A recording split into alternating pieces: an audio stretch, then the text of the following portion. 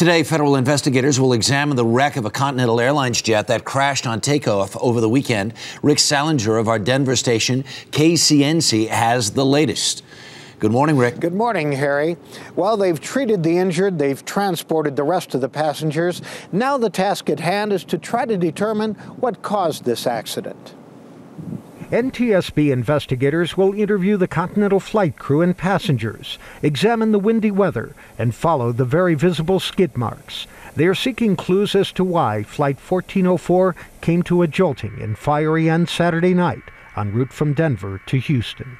We are here for one and only reason, that is to find out what happened so that we can keep it from happening again. During the takeoff, the plane veered off the runway, skidding to a rest in a 40 foot deep ravine.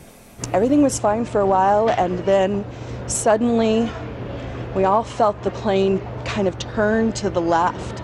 It was almost like taking an off ramp on a freeway, and you're like, wow, I didn't know a plane could do that. The resulting fires scorched most of the right side of the Boeing 737 500, and an engine was disconnected from its wing.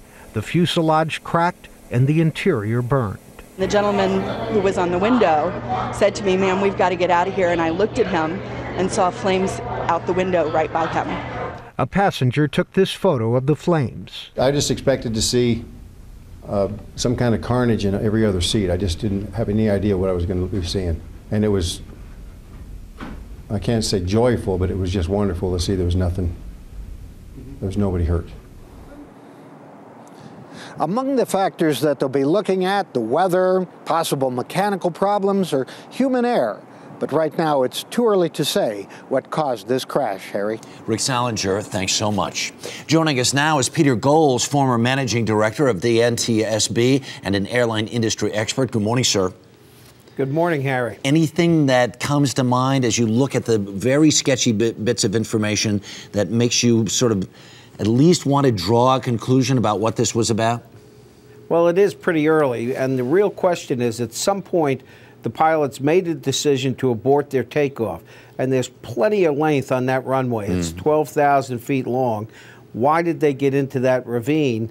Uh, could be uneven engine power, complicated by uh, a crosswind that was tricky, but but not unusual. Right. Uh, the good news is the flight data recorder and the cockpit voice recorder will tell the story. 31 miles an hour winds. There were no other flight delays because of the winds on, on Saturday. That shouldn't that shouldn't have been that much of a problem, should it?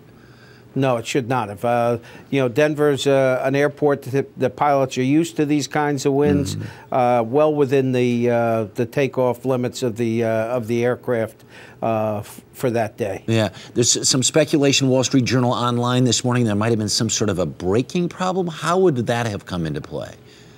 Well, the pilots make a decision to abort their takeoff, they back the engines down and stand on the brakes. Mm. If the brakes were applied for some reason unevenly, you know, if if there was some malfunction, uh, that could have veered the plane off, or it could have been uneven uh, engine power. Yeah. When they backed the engines down, one engine kept going. Excuse me. But the, and the fact is, though, it sounds like at least from one, uh, th this is a lot of hearsay this morning. They might have been up to 100 knots or so. What's takeoff uh, uh, miles per hour for a plane like this? Well, the what they call V1 is probably 130, 140 uh, knots.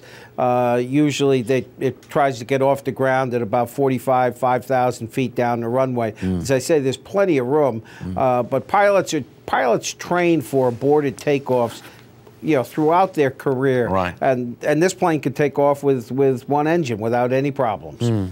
peter Goelz lots to find out about this thank you so much do appreciate it sir